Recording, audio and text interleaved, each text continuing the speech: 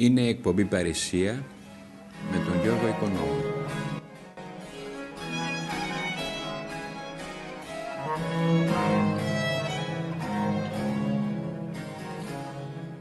Στην εκπομπή συμμετέχει και ο Χρήστος Κοτσιρέας.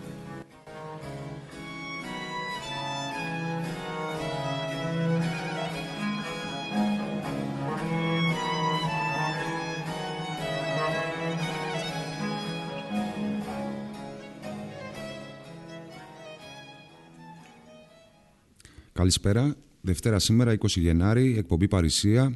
Ε, έχουμε τον κύριο Οικονόμου στην άλλη άκρη της γραμμής, μέσω Skype στη Θεσσαλονίκη. Καλησπέρα, κύριε Οικονόμου. Καλησπέρα σας.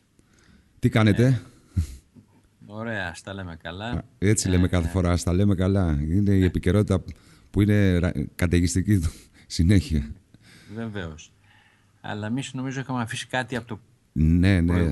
ναι. Είχαμε ξεκινήσει να μιλάμε για αυτόν τον μεγάλο διανοούμενο και στοχαστή, τον Κορνίλιο Καστοριάδη. Δεν ξέρω αν θέλετε να κάνετε ένα σχόλιο πέντε λεπτά με βάση την επικαιρότητα που έχουμε πριν περάσουμε. Ε, ε, κοιτάξτε, η επικαιρότητα μπορεί να μείνει για μετά. κάνουμε αυτό ωραία, πρώτα. Ωραία, ωραία. Και το κάνουμε μετά, να τελειώσουμε αυτό. Οπότε την προηγούμενη φορά είχαμε ξεκινήσει να αναλύουμε τη σκέψη αυτού του μεγάλου στοχαστή, αυτού του μεγάλου διανοούμενου, του Κορνίλιου Καστοριάδη. Ε, θέλουμε, θέλετε να κάνουμε μια ανακεφαλαίωση σε αυτά που είχαμε πει για να συνεχίσουμε παρακάτω; Ε, τώρα εντάξει, ανακεφαλαίωση, εν πάση περιπτώσει μιλήσαμε λίγο για τον Καστοριάδη, ορισμένα στοιχεία έτσι. Ίσως ε, κάποια άλλη φορά ε, επανέλθουμε ε, για να πούμε και άλλα, να συμπληρώσουμε γιατί είναι μεγάλο αυτό το θέμα. Ε, μιλήσαμε για τις φιλοσοφικές του ιδέες λίγο πολύ. Μπορεί ο, αυτός που θέλει να ενημερωθεί να κοιτάξει την προηγούμενη υποπή που ήταν 23 νομίζω, 22 Δεκεμβρίου ε, του 2013, πέρυσι δηλαδή. Α, είναι η πρώτη εκπομπή που κάνουμε στο καινούργιο χρόνο. Πρώτη εκπομπή, ναι. ναι. Ε, λοιπόν και είχαμε πει, νομίζω μια ερώτηση που είχες κάνει για την πράξη. Τι είναι η πράξη. Α, ναι, είχα, σας είχα κάνει μια ερώτηση. Είχαμε κλείσει τότε με μια ερώτηση και είπαμε ότι θα ξεκινήσουμε με αυτήν.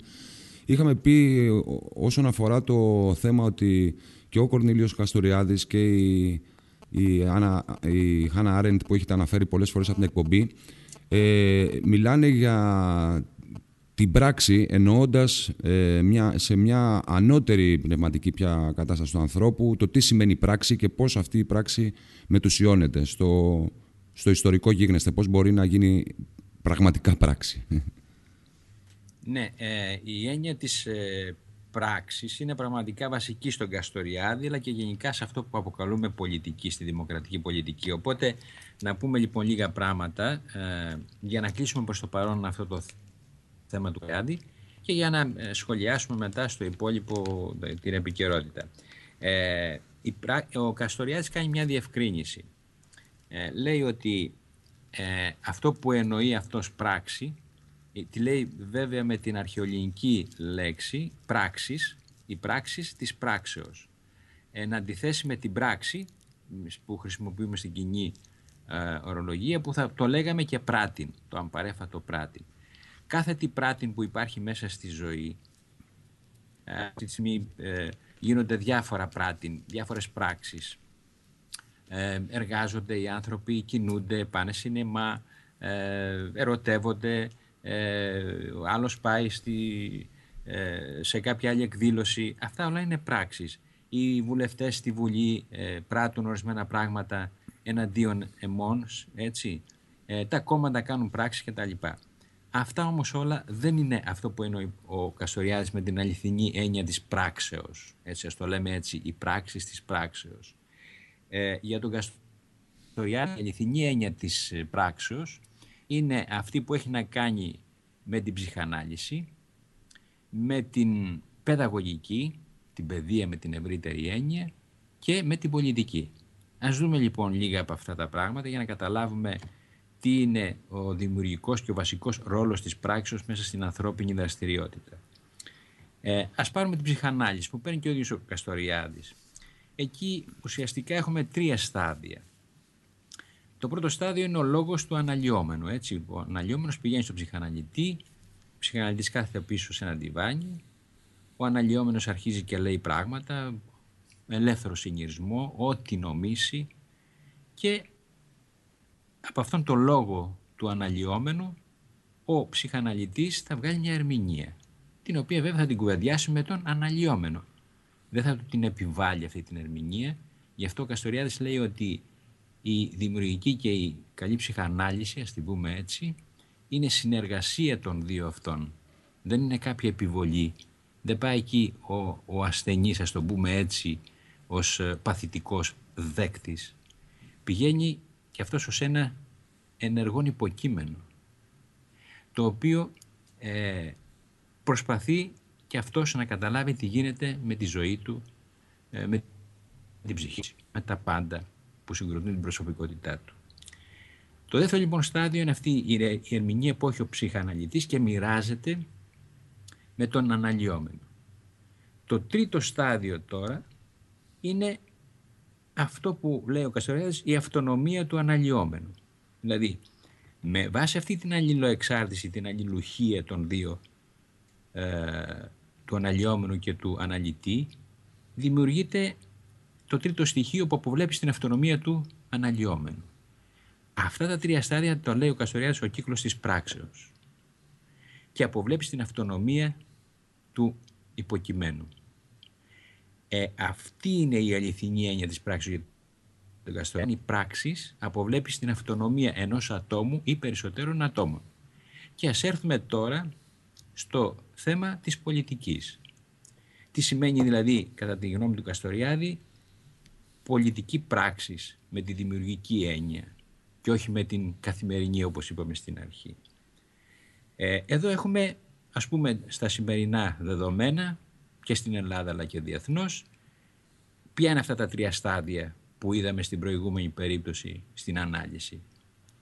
Το πρώτο στάδιο είναι η διαπίστωση μιας κατάστασης που ζούμε σήμερα εδώ σε αυτή τη χώρα που είναι η παρακμή, είναι αυτό το χάλι το οποίο ζούμε αλλά και ο διεθνώς.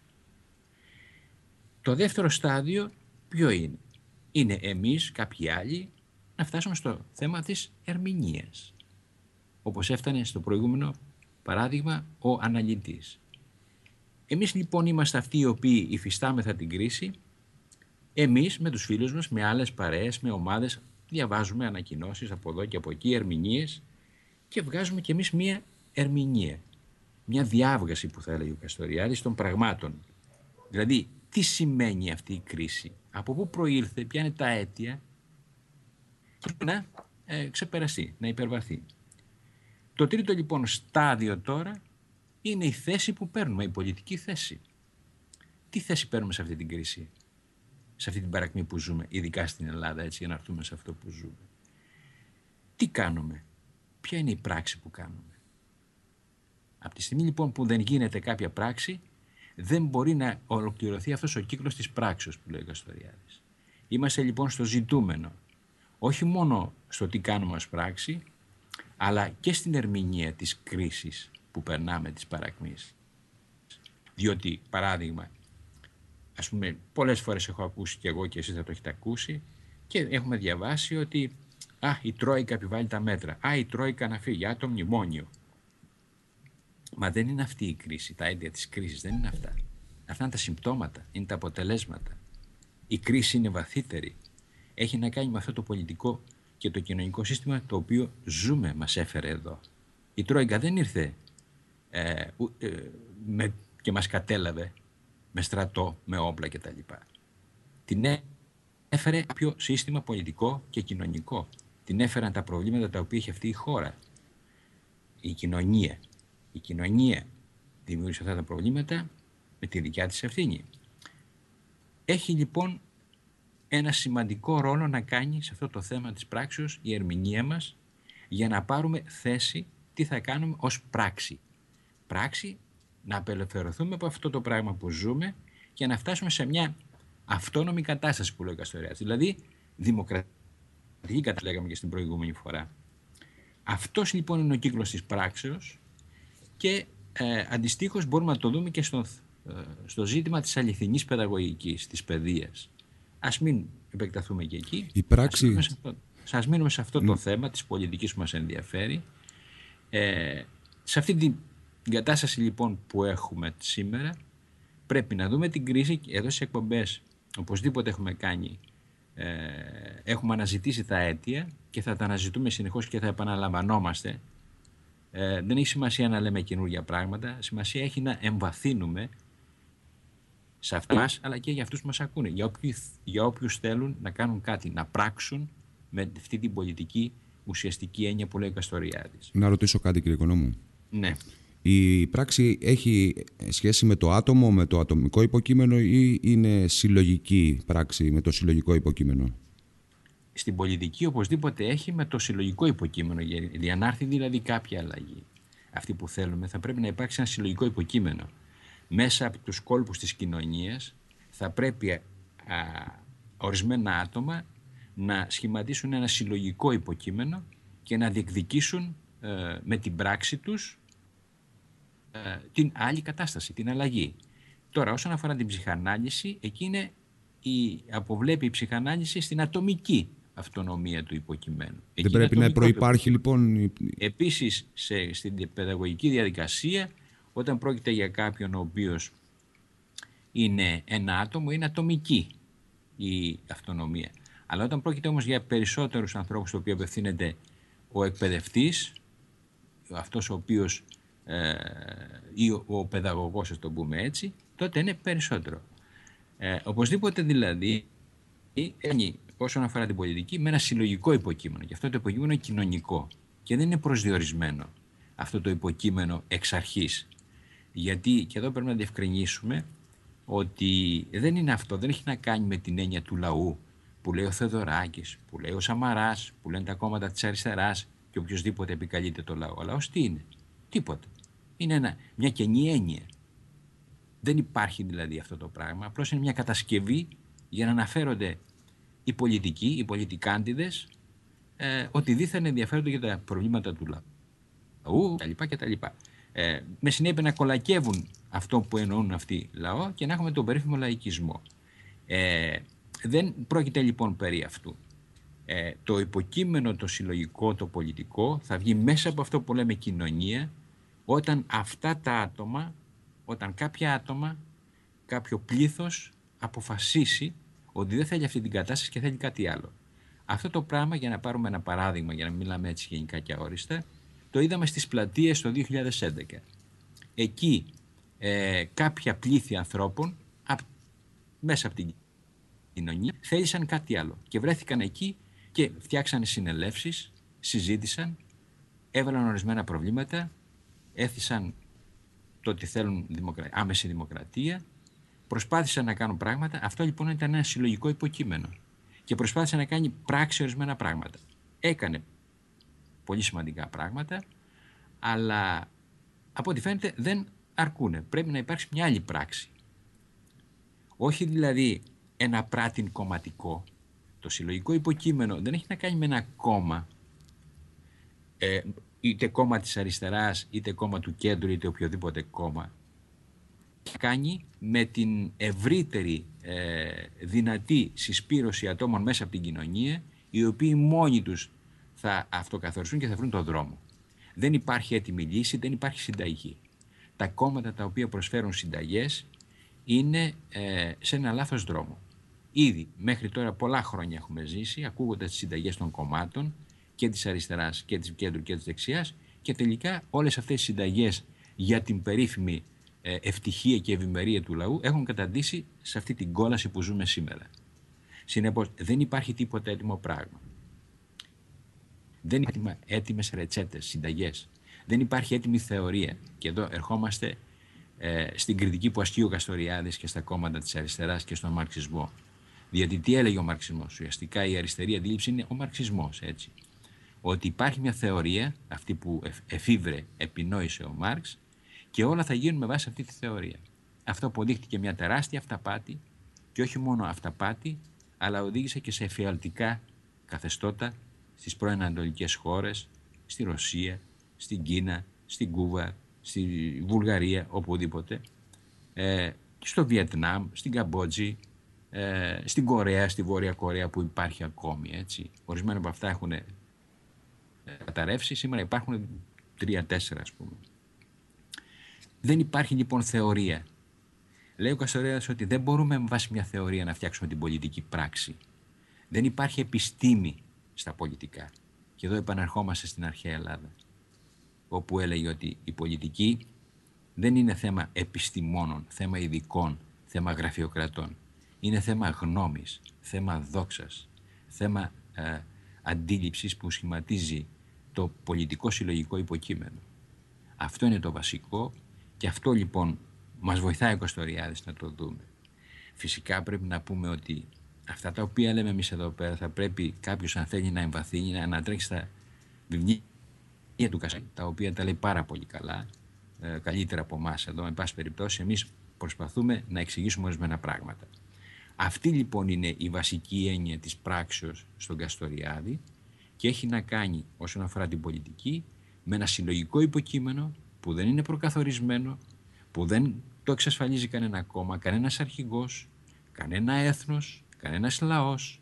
Παραβγαίνει μέσα από την αυτοσυγκρότηση των ανθρώπων που θέλουν να ξεφύγουν από αυτή την κατάσταση στην οποία βρίσκονται και να ε, φτιάξουν το δημοκρατικό καθεστώς.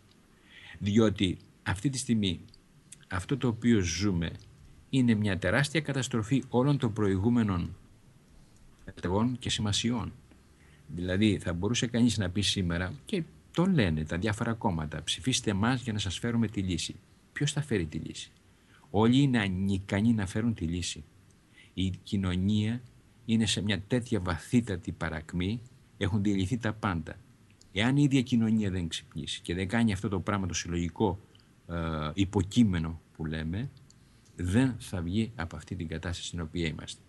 Και ε, δηλαδή η κρίση, η παρακμή που λέμε, χωρίς τον αγώνα των ανθρώπων, δεν φέρνει τη δημοκρατία και την αυτονομία, λέει ο Καστοριάδης. Εάν δεν υπάρξει πράξεις, εάν δεν υπάρξει η πράξη η ουσιαστική από την κοινωνία, η φθορά και η κρίση που, την οποία ορισμένοι ερμηνεύουν ότι ναι, έχουμε μια κρίση, μια φθορά, αλλά θα βγει κάτι καλύτερο για την ευκαιρία. Πώς θα βγει, Από τη στιγμή που η κοινωνία δεν κάνει κάτι, το πιο πιθανό είναι να η, η κρίση να φέρει άλλους θεσμούς, άλλους ανίκανους επάνω, όπως τους φέρνει μέχρι τώρα. Τέσσερα χρόνια είμαστε στην κρίση. Τι φέρνει; Ε, έφερε το, το Γεωργάκη του Παπαντρέου, μετά έφερε το, το, τώρα έφερε το Σαμαρά και έφερε και το, το Στουρνάρα. Έχουμε αυτή τη στιγμή το Στουρνάρα. Πριν είχαμε τον Παπαδήμο που δεν έχουν εκλεγεί. Και αυτοί αποφασίζουν, δεν ελέγχονται από κανέναν. Και παίρνουν αποφάσεις. Βεβαίως, οι αποφάσεις του Στουρνάρα είναι συνυπευθυνότητα ε, και του Σαμαρά. Αυτός είναι ο κύριος υπεύθυνος, έτσι. Συνεπώς, εάν δεν κάνουμε κάποιον αγώνα, λέει ο Καστοριάδης, μέσα σε αυτή την κρίση, δεν θα έρθει η κρίση ε, να λυθεί και να βρούμε κάποιες καλύτερες μέρες έτσι, ως διαμαγείας, επειδή θα βγει ο ΣΥΡΙΖΑ ή θα βγει το ΚΚΕ ή θα βγει ξέρω κάποιο άλλο. Αυτό ο ΣΥΡΙΖΑ και το ΚΚΕ ενδιαφέρονται πάντα για τον εαυτό τους, όπως όλα τα κόμματα. Δεν έχουν τίποτα εναντίον του ΣΥΡΙΖΑ. Αλλά αν η κοινωνία δεν κάνει τον αγώνα, το συλλογικό αυτό αγώνα, για να έρθουμε στην ουσιαστική πολιτική πράξη, θα μείνουμε στα ίδια πράγματα και χειρότερα. Ή άντε να βελτιωθούν κάτι. Αλλά τι, τι δηλαδή τι, με ασπιρίνες θα, θα λυθεί αυτό το θέμα; Δεν γίνεται με ασπιρίνες ο καρκίνος. Εδώ έχουμε καρκίνο. Ένα καρκίνο διέρχεται η χώρα και πηγαίνει στο θάνατο. Η κοινωνία δηλαδή, όταν μιλάμε για χώρα, πρέπει να διευκρινίσουμε. Βλέπουμε τώρα τα σκάνδαλα, τα περίφημα τα οποία βγαίνουν, πια άλλα που δεν έχουν βγει. Όλοι αυτοί οι μεγάλοι που κυβερνούσαν, οι πολιτικοί, οι οικονομικοί, οι τραπεζίτες, ε, σε όλα τα, τα, τα, τα στρώματα, τα μεγάλα, τα ανώτερα, έχουν βγάλει ένα σωρό λεφτά. Αυτοί δεν κινδυνεύουν. Εμείς την κινδυνεύουμε; Τα κατώτερα, τα μικρομεσαία στρώματα, οι εργαζόμενοι, οι άνεργοι που πλήττονται. Δεν κινδυνεύει λοιπόν μία χώρα.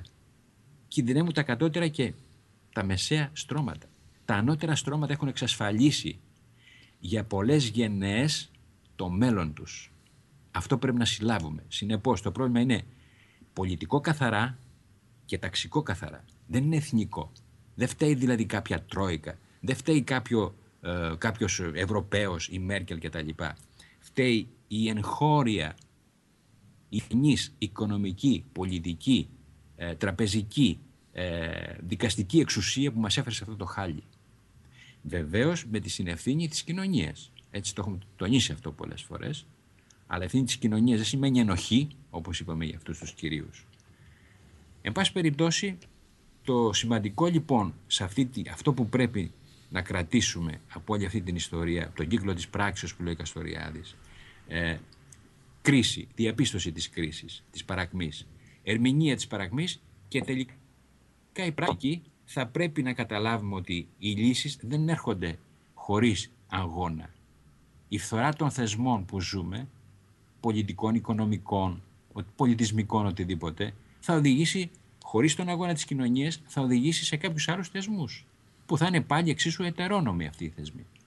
Το θέμα που βάζει ο Καστοριάδης λοιπόν είναι το θέμα της αυτονομίας, ε, το θέμα της δημοκρατίας. Μας ενδιαφέρει αυτό.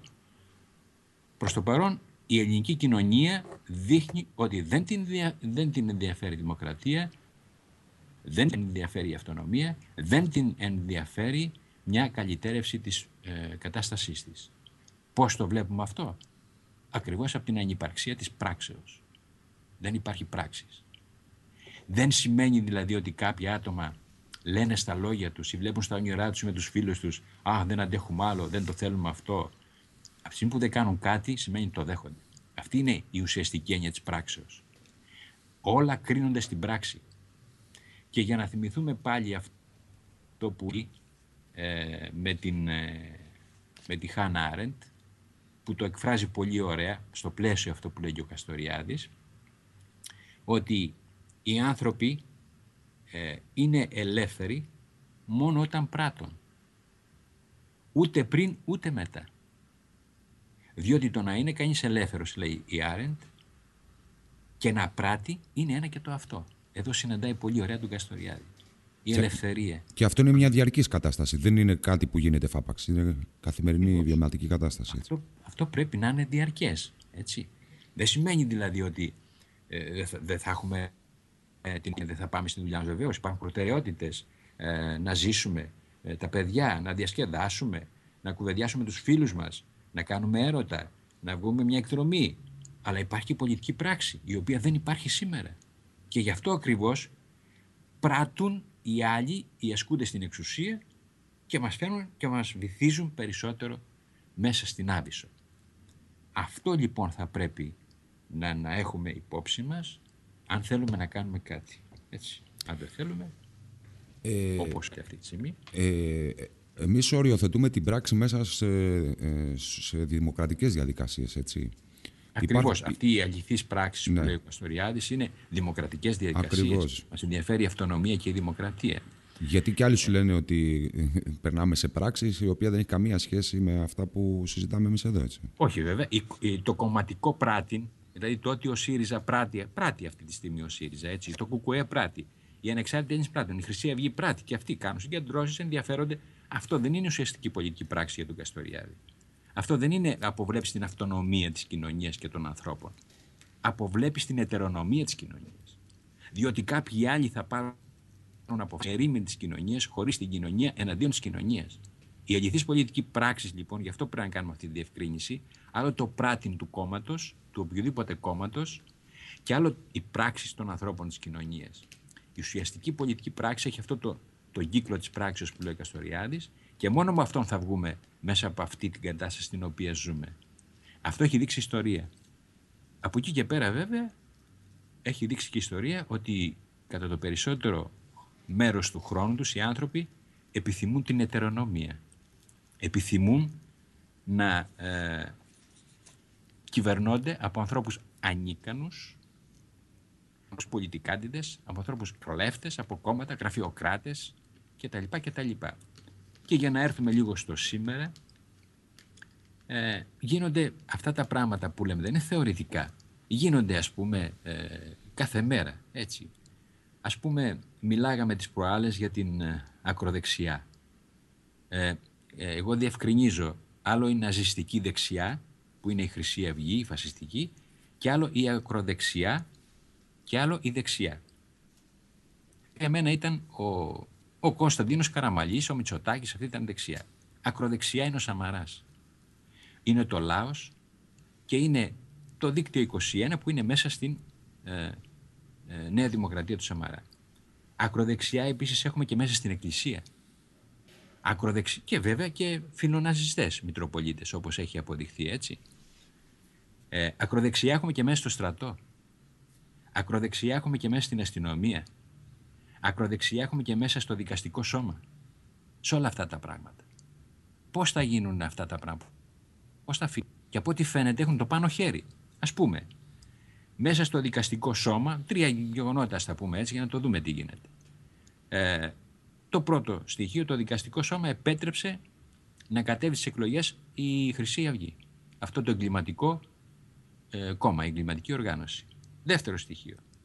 Αθώωσαν τον Κασιδιάρη στη δίκη του, που ήταν πασιφανές ότι ήταν ένοχος. Τον αθώωσαν. Πριν την ε, δολοφονία του Παύλου Φίσα. Τρίτο στοιχείο.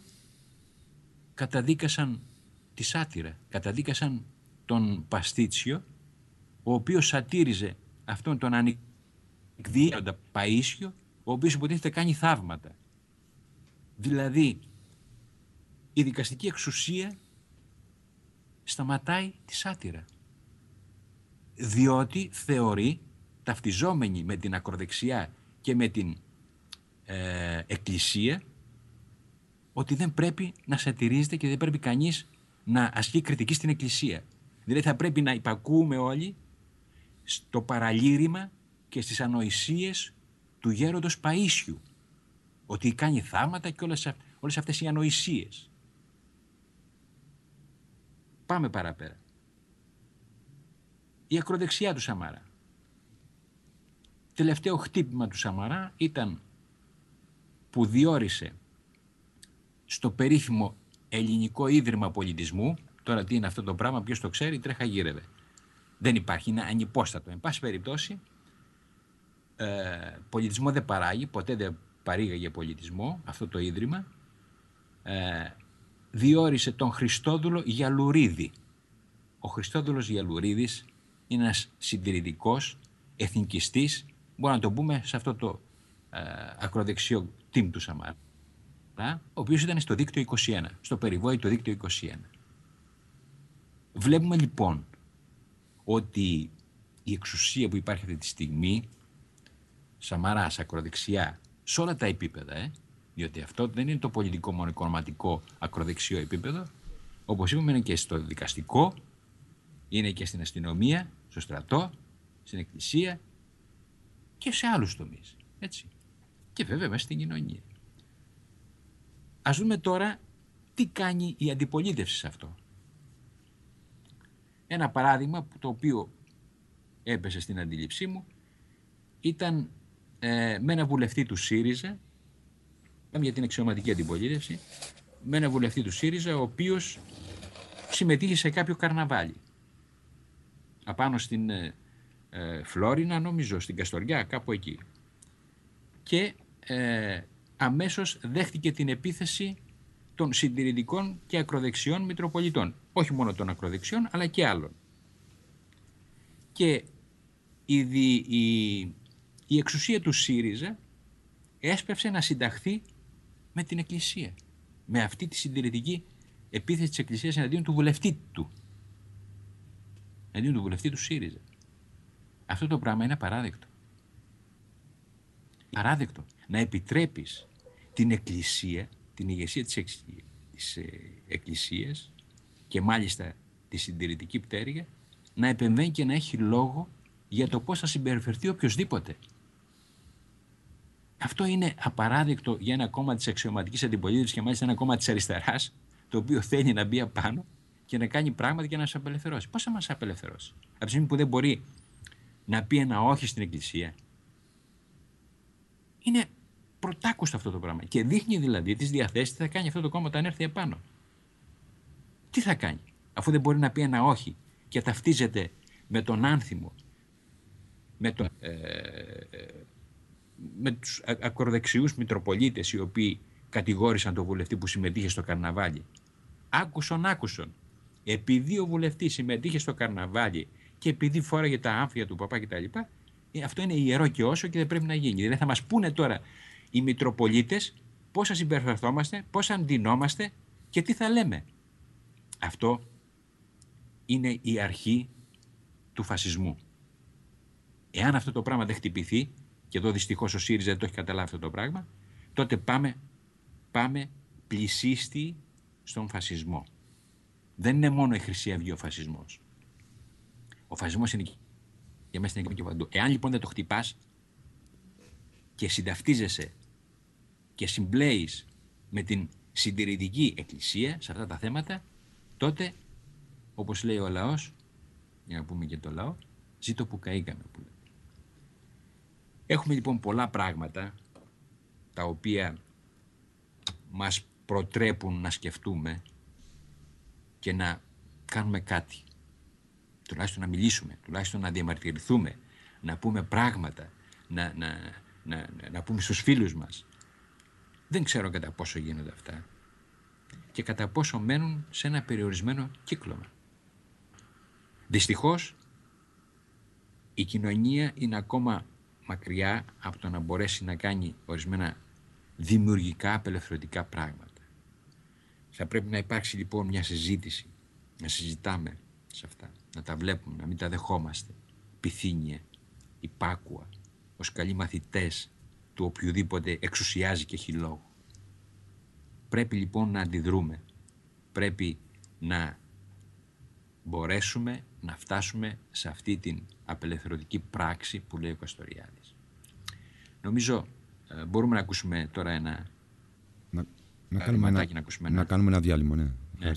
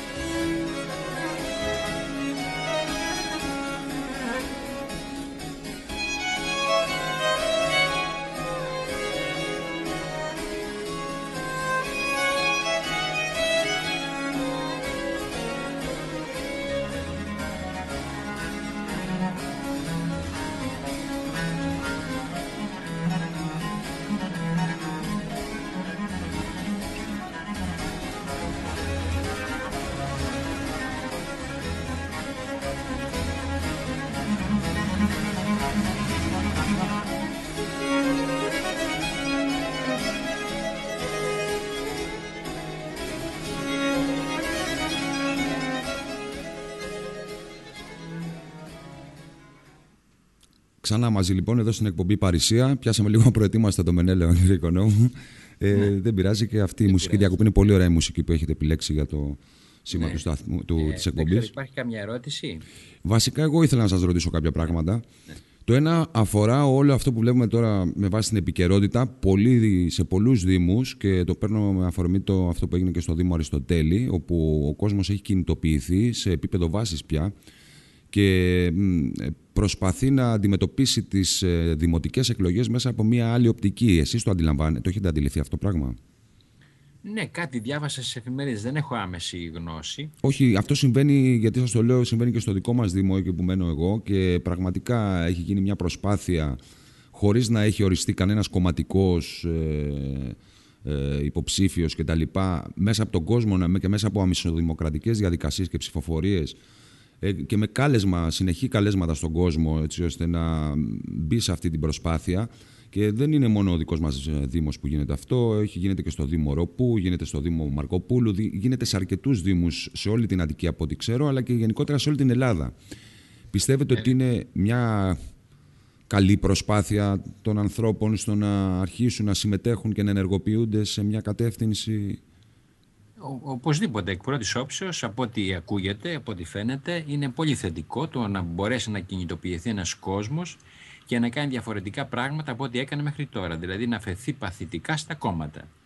Ε, το θέμα είναι, διάβασα και κάποιο ρεπορτάζ ε, για, όσον αφορά το θέμα επάνω στη Χαρκιδική, ε, την, στην εφημερίδα των συντακτών για το πώς κινητοποιούνται αυτοί. Κάνουν συνελεύσεις, είναι πολύ θετικό αυτό που κάνουν συνελεύσεις ε, και βγάλανε κάποιον ας πούμε, ψηφίσει, θα βγάλουν το κάποιον ε, δικό τους που δεν ανήκει σε κόμματα για να ε, τον προτείνουν ως δήμαρχο.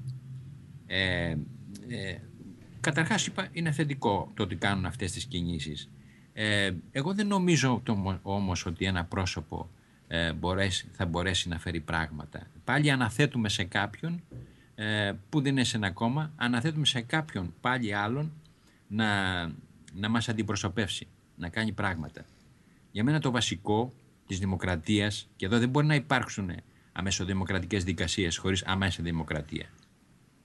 Πρέπει λοιπόν οι, δικασίες, οι διαδικασίες, οι δημοκρατικές, οι συνελεύσεις να βγάλουν αποφάσεις αυτοί τι θέλουν. Και δεν είναι μόνο τι θέλει ε, στην προκειμένη περίπτωση ο κόσμος, ότι δεν θέλουν τα μεταλλεία στις κουριές εκεί. Είναι και παραπέρα τι θα γίνει. Έτσι. Αυτό το πράγμα ποιος θα το βγάλει; Αν δεν το βγάλουν αυτοί, θα το βγάλει κάποιος αντιπρόσωπος που αυτοί θα βγάλουν. Ε, πάλι όμως δεν είμαστε στη δημοκρατία, είμαστε σε μια αλωτριωμένη εκπροσώπηση. Το βασικό λοιπόν δεν είναι να κινητοποιηθείς, να πράξεις όμως για την αυτονομία, να πράξεις με την αληθινή έννοια που λέει ο Καστοριάδη. Πράξη σημαίνει εμείς οι ίδιοι αποφασίζουμε. Αποφασίζουμε ο, όχι προσωπεύσει, αν θα είναι μέσα σε ένα κόμμα ή όχι, αλλά εμείς αντιπροσωπεύουμε τον εαυτό μας βγάζοντας αποφάσεις και εφόσον εμείς βγάλαμε τις αποφάσεις, βγάζουμε κάποιον εκτελεστική επιτροπή να υλοποιήσει τις αποφάσεις. Κάποιον ή ένα δημοτικό συμβούλιο, έτσι που τότε ξεφεύγεις από τα ε, δεδομένα πλαίσια της αντιπροσώπευσης και της παραδοσιακής ε, δημοτικής αρχής. Εάν τώρα εσύ βγάλεις μεταξύ τριών προσώπων που δεν ανήκουν σε κόμματα έναν άλλον αντιπρόσωπο που θα παίξει το ρόλο πάλι του παραδοσιακού δημάρχου μέσα στα πλαίσια του Καλλικράτη, αυτό το πράγμα δεν είναι δημοκρατία. Έτσι, αυτό έχετε, είναι. έχετε απόλυτο δίκιο σε αυτό.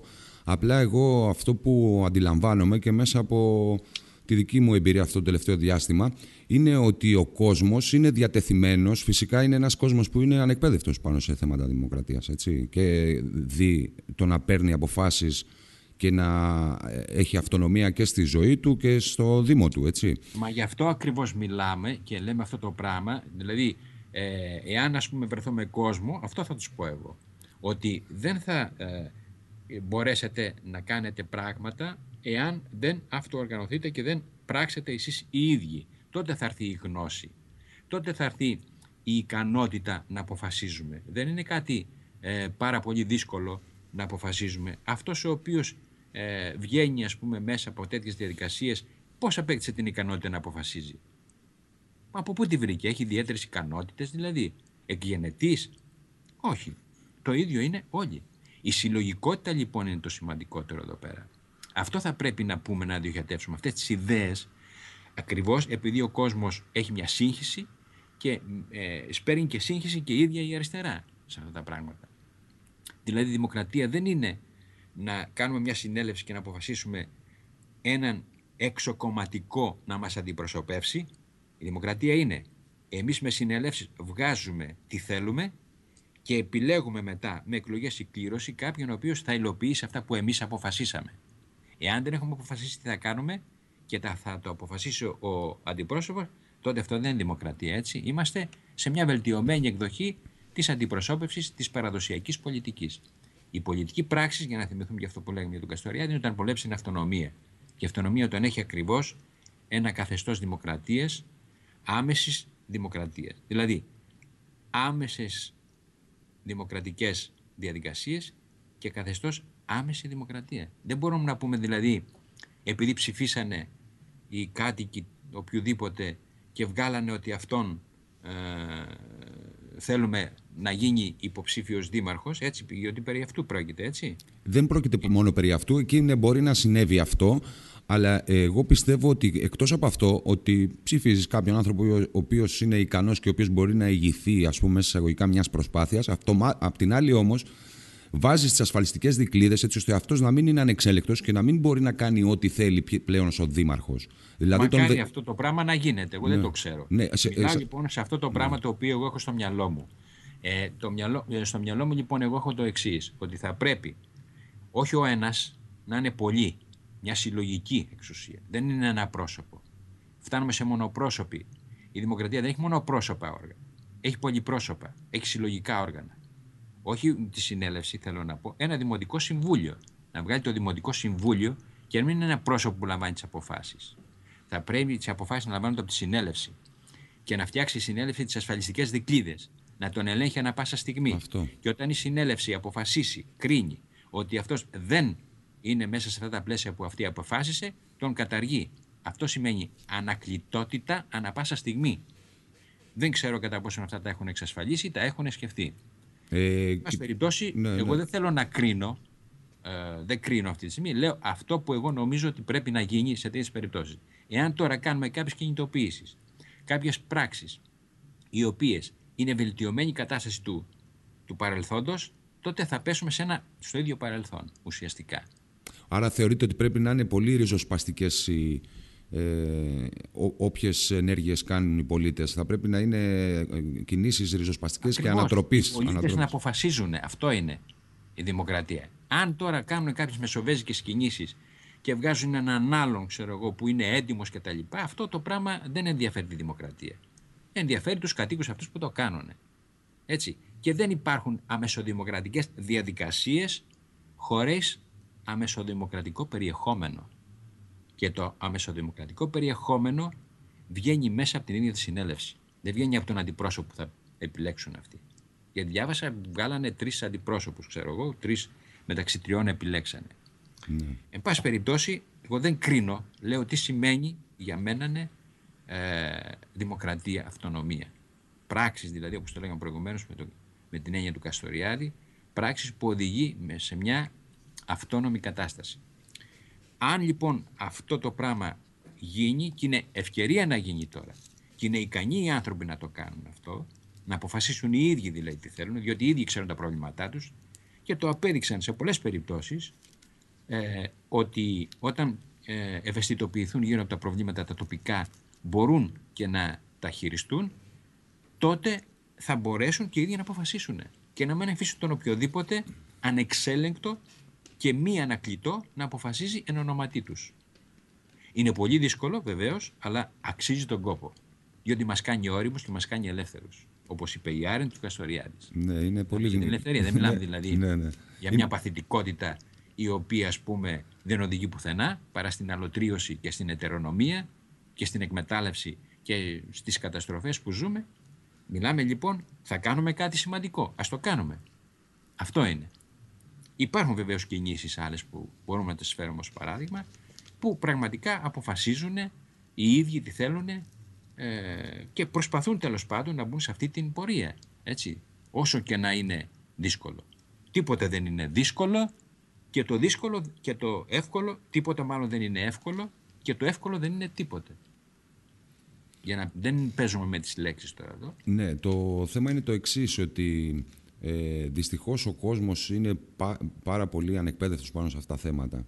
Ε, και ο καθένας ε, ορίζει τη δημοκρατία πολλές φορές κατά τον δικό του τρόπο. Εδώ πρέπει λοιπόν να ε, επανακαθορίσουμε το τι σημαίνει δημοκρατία, τι σημαίνει η συνέλευση, τι σημαίνει όλα αυτά τα πράγματα. Γιατί, ξέρετε, πολλοί άνθρωποι τα έχουν αλλιώσει στο μυαλό τους. Έχουν ναι, κάπως παρανοήσει ε, αυτές τις έννοιες. Ακριβώς. Επειδή ακριβώς δεν έχουμε τόσο πολύ παιδεία και η κοινωνία όντως δεν έχει, ειδικά στην Ελλάδα είναι εντελώς ανεκπαιδευτή, η συνέλευση και οι διαδικασίες αυτές είναι μέσω εκπαιδεύσεως.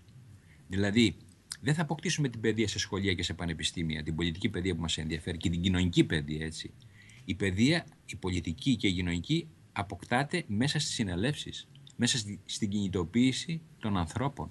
Όταν έρχονται σε επαφή μεταξύ τους και λένε τι κάνουμε τώρα, αποφασίζουμε εμείς ή βγάζουμε κάποιον να μας αντιπροσωπεύσει; Ε, όταν βγάλεις κάποιον να σε αντιπροσωπεύσει, δεν υφίστασε παιδεία πολιτική. Ενώ όταν εσύ μπεις στη διαδικασία να αποφασίσεις, να κάνεις συνέλευση και να πάρεις αποφάσεις και την ευθύνη της απόφασης, τότε εκπαιδεύεσαι.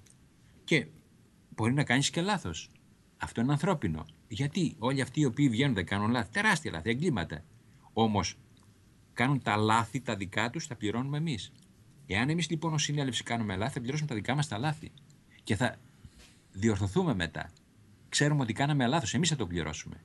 Παίρνουμε όμως την ευθύνη. Εάν αναθέσουμε όμως αυτό το πρόβλημα, την απόφαση σε άλλον, τότε θα πληρώσουμε τα λάθη του άλλου. Εμείς λοιπόν στη δημοκρατία λέμε ότι πληρώνουμε τα λάθη μας. Δεν σημαίνει ότι αυτά που θα κάνουμε θα είναι σωστά. Αναλαμβάνουμε την ευθύνη και το ρίσκο. Η δημοκρατία είναι το πολίτευμα του ρίσκου, λέει ο Καστοριάδης. Είναι το πολίτευμα που διακυβεύονται πράγματα. Δεν είναι τίποτα εξασφαλισμένο. Αυτό που μπορεί να εξασφαλίσει την πορεία την ομαλή είναι η επαγρύπνηση, η θέληση, η φαντασία, η επιθυμία, η ευαισθησία των ανθρώπων. Εκεί αυτά τα πράγματα αναπτύσσονται μέσα στη συνέλευση. Δεν αναπτύσσονται στα σπίτια, στα σχολεία και βγάζοντας αντιπροσώπους. Αυτό είναι το σημαντικό. Ναι, δεν έχουμε την γνώση και την εκπαίδευση, θα την αποκτήσουμε μέσα στην πράξη. Και εδώ λοιπόν ερχόμαστε πάλι στην έννοια της πράξης, στον κύκλο της πράξης. Είναι συνειδητοποιούμε την κρίση, το πρόβλημα, το ερμηνεύουμε, το συζητάμε και μετά φτάνουμε στην πράξη εμείς. Δεν φτάνει κάποιος γιατρός άλλος. Γι' αυτό χρησιμοποίησα το παράδειγμα του, του ψυχαναλυτή και του ψυχαναλυόμενου που δεν φτάνει ο ψυχαναλυτής να προτείνει στον ψυχαναλυόμενο λύσεις. Δεν είναι ο θεράπων ιατρός, όπως είναι ο ψυχίατρος, ο παραδοσιακός ή ο ψυχολόγος και του λέει αυτά πρέπει να κάνεις. Είναι μια κοινή πορεία. Κάνει και ο αναλυόμενος πορεία με αυτά που λέει εκεί πέρα, με τις συνεδρίες που πηγαίνει, αλλά και ο, ο αναλυτής. Είναι από κοινού αυτά τα πράγματα. Μια διαλεκτική σχέση, θα τη λέγαμε. Είναι δηλαδή μια σύμπλευση πολλών πραγμάτων, μια συνέργεια πολλών παραγόντων που επιτρέπουν μέσα στην κατάσταση στην πολιτική, για να έρθουμε στην πολιτική, που επιτρέπουν την αυτοσυνείδηση, την αυτοεκπαίδευση, την αυτομόρφωση των ανθρώπων. Διότι περί αυτού πρόκειται. Δεν θα μας δώσει κανείς τη μόρφωση. Ούτε ο αντιπρόσωπος που θα βγάλουμε, ο δήμαρχος ή ξέρω εγώ οποιοδήποτε άλλος, ούτε ο κομματικός, ούτε ο γραφειοκράτης, ούτε ο καθηγητής του Πανεπιστημίου. Τη μόρφωση την παίρνουμε εμείς. Δηλαδή δεν χρειάζεται να ξέρουμε ε, πυρηνική φυσική ή μεταλλευτική χημεία για τα ε, προβλήματα της χαλκιδικής και της χουριές. Δεν χρειάζονται επιστήμονες. Χρειάζονται θέληση των ανθρώπων. Και θέληση των ανθρώπων μέσα στην πορεία και μέσα στην πράξη τους, εκεί μαθαίνεται αυτή η εκπαίδευση που λείπει σήμερα από την ελληνική κοινωνία. Και βεβαίως ε, η, η εκπαίδευση αυτή βγαίνει διαβάζοντας άλλα βιβλία, κουβεντιάζοντας με άλλους ανθρώπους, κλείνοντας τα μαζικά μέσα εξαχρίωσης που μας βορδίζουν με ψεύδι και ένα σωρό σκουπίδια και ανοησίες και ψάχνοντας άλλα μέσα εναλλακτικά όπως είναι το V-Media, όπως είναι άλλα, άλλες εφημερίδες και τα λοιπά και να μπορέσουμε να ενημερωθούμε και να πράξουμε. Όχι να ακούμε από το πρωί μέχρι το βράδυ τα μεγάλα κανάλια αυτά που διοχετεύουν την κυρίαρχη ε, και επιβάλλουν τις ε, κυρίαρχες σημασίες ε, προς όφελος των μνημονίων, της εξουσίας, των κυρίαρχων τέλος πάντων και εναντίον της κοινωνίας. Και αυτό γίνεται μέσα από μια επιλεκτική χειραγώγηση ενημέρωσης, ε, όπου ο κόσμος πια δεν είναι σφαιρικά ενημερωμένος για τα ζητήματα, δεν ε, γνωρίζει όλα, ό, όλε, όλες τις απόψεις περί ενός ζητήματος. Αλλά σε, μόνο... αυτό, σε αυτό είναι, για να κλείσουμε και δεν βλέπω που τελειώνουμε, σε αυτό είναι συνυπεύθυνος και ο κόσμος, διότι δεν αναζητεί, δεν είναι παθητικό αντικείμενο ο κόσμος, η κοινωνία δηλαδή. Δεν είναι παθητικό αντικείμενο μπορεί να ξεφύγει από εκεί. Έχει μια ευθύνη και εδώ είναι η ευθύνη του. Αλλά θέλει ας πούμε αυτά τα πράγματα, έτσι. Και ε, απ' την άλλη λέει ότι δεν τα θέλει. Είναι, τέλος πάντων είναι θέμα και ψυχολογικής ανάλυσης εδώ πέρα μέσα σε αυτή την ελληνική κοινωνία. Ε, υποτίθεται δεν θέλουν το μνημόνιο και τελικά το μνημόνιο υπάρχει και τα κόμματα τα οποία ευθύνονται για το μνημόνιο είναι επάνω και κυβερνάνε. Είναι δηλαδή μια σχιζοφρενική κατάσταση αυτή που συμβαίνει με την νέα ελληνική κοινωνία. Τέλος πάντων, ε, πιστεύω λοιπόν για να κλείσουμε, γιατί τέλειωσε και ο χρόνος, το βασικό στην πολιτική και στην πολιτική πράξη κατά τον Καστοριάδη είναι η πολιτική απευθύνεται στους πολλούς, είναι συλλογικό και έχει να κάνει με τη συλλογική αυτονομία. Και αυτή τη συλλογική αυτονομία δεν θα τη δώσει κάποιο άτομο, κάποιο κόμμα, παρά η ίδια η συλλογικότητα, οι συνελεύσεις με τον αγώνα τους, με τις αποφάσεις τους με ανακλητούς ε, ε, με ανακλητά όργανα τα οποία θα βγάλουν για να μπορέσουν να υλοποιήσουν τις αποφάσεις, με διάλογο, με συζητήσεις, με επιχειρήματα, όχι με βία και τρομοκρατία και με λάθη βεβαίως, τα οποία τα διορθώνουν. Αυτό έτσι βγαίνει, δεν υπάρχει άλλος δρόμος. Λοιπόν, να χαιρετήσουμε τους ακροατές και να δώσουμε ραντεβού για μετά από 14 μέρες. Έτσι είναι. Καλό βράδυ και σε εσάς κύριε Οικονόμου και σε όλους τους ακροατές μας.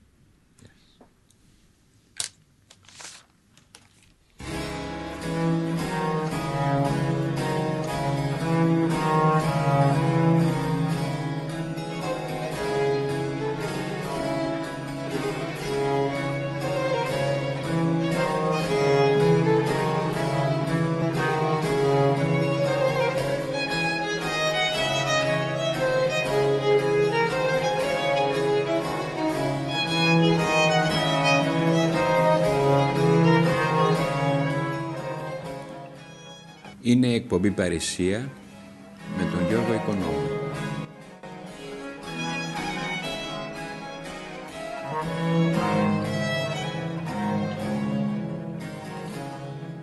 Στην εκπομπή συμμετέχει και ο Χρήστος Κοτσιρέας.